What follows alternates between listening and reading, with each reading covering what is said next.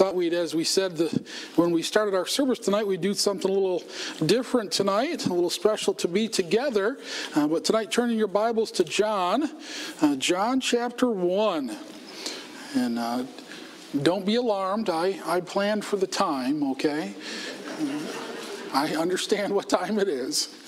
I do want tonight to uh, look at uh, just some of these scriptures here tonight, uh, really looking to of the, the impact of the incarnation of Christ. In other words, Christ becoming man, Christ becoming flesh for you and I. And uh, again, don't be alarmed, but I do want to start in reading in verse 1, and we're going to read down through uh, verse 17 or so. And I kind of tonight want to let the scriptures, again, speak for themselves, but we will be then just sharing some thoughts here tonight and uh, really looking at uh, what Christ did in becoming a man, what Christ did in becoming on, taking on human flesh and being that sacrifice for us.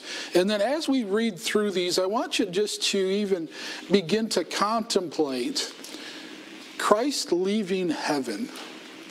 Just get that thought in your head. Christ leaving heaven, coming to be born in flesh, knowing that one day he would die for you and me. And as we look at these verses, just let that thought sink in, and hopefully this will impact you through the Spirit as well. But John chapter 1 and verse 1 says, In the beginning was the Word, and the Word was with God, the Word was God. We know that to be Jesus Christ. The same was in the beginning with God. In other words, remember, uh, they have always existed. Uh, God was not created. Jesus Christ was not created. They existed from beginning on. All things were made by him, and without him was not anything made that was made. And in him was life, and the life was the light of men. The light shineth in darkness, and the darkness comprehended it not. There was a man sent from God whose name was John. This is speaking of John the Baptist, verse 7. The same came for a witness to bear witness of the light, that light in Jesus Christ, that all men through him might believe. See, folks, that's God's hope and prayer for the world, is that through his son Jesus Christ, that all men would come to believe in him as their Savior. He was not that light, John the Baptist in verse 8, but was sent to bear witness of that light. That was the true light. Jesus Christ is who he's speaking of here, which lighteth every man that cometh into the world. He was in the world, and the world was made by him, and the world knew him not. Again, think of that. The Creator Jesus Christ Himself, the creator of all, becoming part of His creation. You imagine? You imagine the love that was shown. You imagine His love for you and I, that He would do that. Obviously, being obedient to His Father, obviously knowing what the cost was, but willingly giving His life for you and me being part, taking upon that human flesh and all that came with it. Sadly, in verse 11, he came unto his own, and his own received him not. But as many as received him, to them gave he power to become the sons of God, even to them that believe on his name, which were born not of blood, nor of the will of the flesh, nor of the will of man, but of God. Listen, when you receive Jesus Christ as your Lord and Savior, you are born again. That's why we use these terms. They're in the Bible. Verse 14, and the Word was made flesh. Jesus Christ was made flesh and dwelt among us, and we beheld his glory. The glory as the only begotten of the Father, full of grace and truth. John bare witness of him and cried, saying, This was he of whom I spake. He that cometh after me is preferred before me, for he was before me. And of his fullness have all we received the grace for grace. For the law was given by Moses, but grace and truth came by Jesus Christ. Back to verse 14 just for a minute for context. Verse says, And the Word was made flesh and dwelt among us. The creator of this universe became flesh for you and me. We think of this term of the incarnation, we think of Christ taking upon flesh and becoming a man uh, like you and I are, being fully man and yet being fully God. We don't totally understand that. We don't totally comprehend that. But, folks, the Word of God is true. That's exactly what took place. Jesus Christ, in all of his glory, in all of his deity, fully God, and yet fully man. What a sacrifice leaving the awesomeness of heaven. You know, you and I on this earth can only wonder, and someday we will be there and we will see it in all its glory. We will, be, we will understand what it is to be partakers in heaven when we get there. We will understand what it's like to be with our Savior. We'll understand what it's like to have a glorified body and a mind. We'll understand what it's like to, as your testimonies were tonight, have fellowship for all of eternity. Boy, that's going to be a great day. And as we try to even grasp that tonight, the wonder of it all, the wonder of how great heaven is, knowing that Jesus Christ left that behind for a moment for you and me. For what? To die. To die. And then, as we talked about this morning, not just die in a sense of getting old and frail or coming down with the disease or getting in an accident. He came to give his life as a sacrifice for you and me that perfect sacrifice, leaving heaven knowing that it was only through his blood that the world could be saved, and so chose to be that sacrifice. Listen, as I said, we have trouble understanding this, but in faith, we believe what God has said.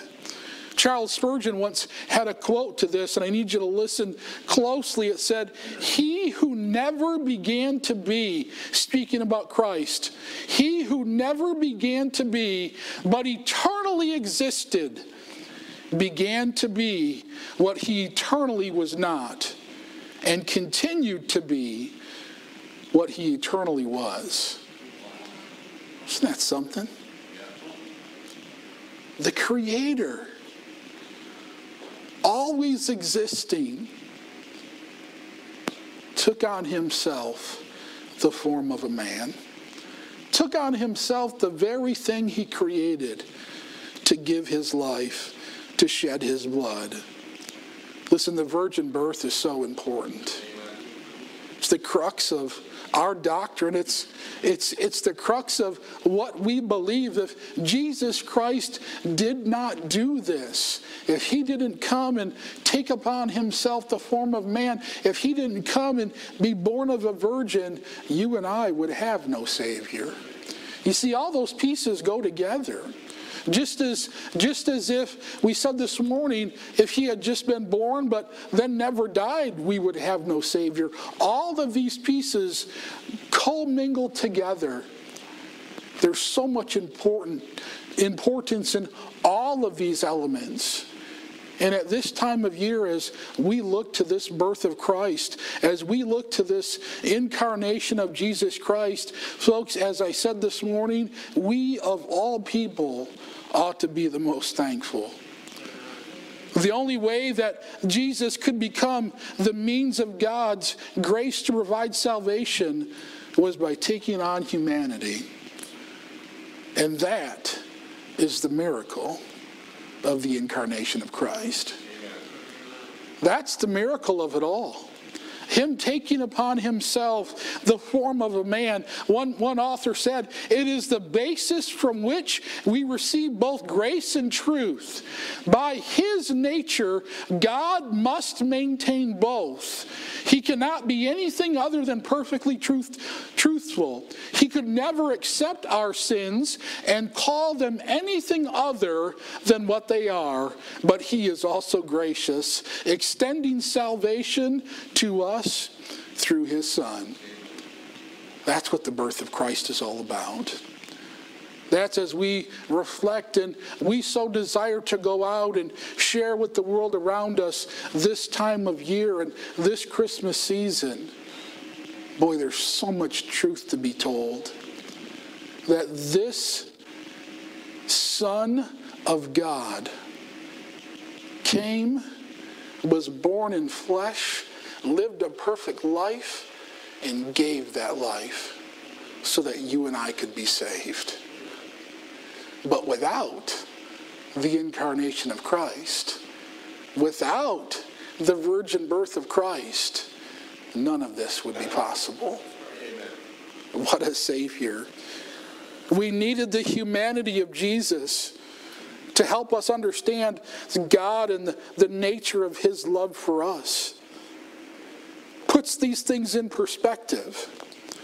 And then tonight I'll close with this thought the, the measure of God's love for us. The measure of God's love for us can be seen in the miracle of the incarnation. Know, we talked about his love this morning. We talked about how the Father loved us and sent his Son. We talked about how Jesus Christ loved us and was that perfect sacrifice. And when we begin to look at these verses in John, and we could look at uh, other verses as well that uh, point to uh, the incarnation of Christ and, and, and discuss what we're discussing tonight, the measure of God's love is seen through Christ coming to this earth. See, he didn't necessarily have to. God the Father didn't necessarily have to send his son, but he so chose to in his love for you and I. And then our Savior Jesus Christ willingly, obediently came and was born in the flesh. You know, I contemplate that, and I was even thinking about it today, and I'll close with this thought. You know, just in how we are human. We know what it's like to maybe have a bad day or get a cold or just not feel okay. We know what it's like to rejoice and to share in good things, and as we did tonight, have these testimonies. I think sometimes we forget that. Jesus was that way as well. In his humanity, he understood what it was, for he was flesh that dwelt among us. And through all of that, never sinned. Through all of that was that perfect sacrifice for you and me. Just think about that for a moment. How easy it is for you and I just to flippantly make a comment in anger, or to speak a cross word, or to have a cross thought. Jesus Christ never, never, not once, sinning. Never thought, you know what? This just isn't worth it. You know what? I love these people so much.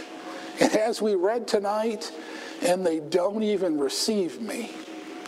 Why am I here? He never had those thoughts. He willingly came to be the Savior for you and I. Fulfilled that perfect sacrifice. That's what this time of year is all about. Again, as I said this morning, then our responsibility is, and it is a weighty one, we need to be sharing the gospel to the world around us. We need to be sharing that this Savior, this Son of God, that the Creator of all that there is and will be, is the one that came in flesh and gave his life for the world. That's our responsibility. We serve a great God. The miracle of the incarnation of Christ. I hope it's been a blessing to you tonight. I hope you've been blessed being here in our services. I hope singing these songs and hearing these testimonies, hearing God's word has just encouraged your heart tonight.